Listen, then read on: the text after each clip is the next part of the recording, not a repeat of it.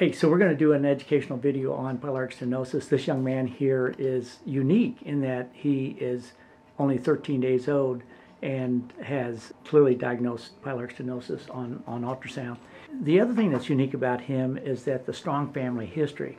And I was going to ask mom if she would just tell us who in the family has had pyloric stenosis.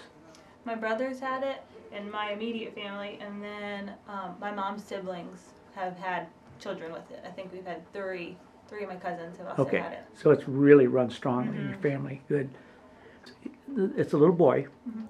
and we know that there's about a four to one, six to one frequency of males to females as far as the onset of pyloric stenosis.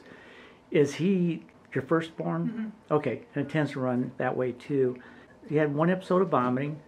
What day was that? That was Friday night. Friday night, and today's Sunday. Okay. And then what happened after that? He drank two bottles throughout the night Friday and did fine. And then Saturday morning around nine, we gave him another bottle. And then all day Saturday, he threw up every single bottle. Okay.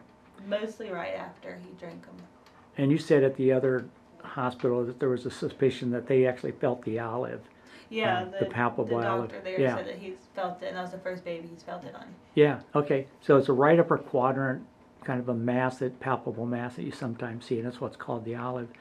And um, a lot of times these kids will, will have a hypochloremic metabolic alkalosis with hypo, you know, kalemia too from all the vomiting. But we don't see that as much anymore because it gets diagnosed so fast, just like he was diagnosed so fast. It's those kids that have gone on for weeks of vomiting. That's where you start to see the electrolyte abnormalities. And um, but again, I thought was was interesting on um, and worth the video is that here's a 13 day old that has confirmed pyloric stenosis, and then it comes from a very strong family history. So mom and dad knew exactly what to be thinking about when he started having the projectile vomiting. Can you describe the vomiting that he was doing?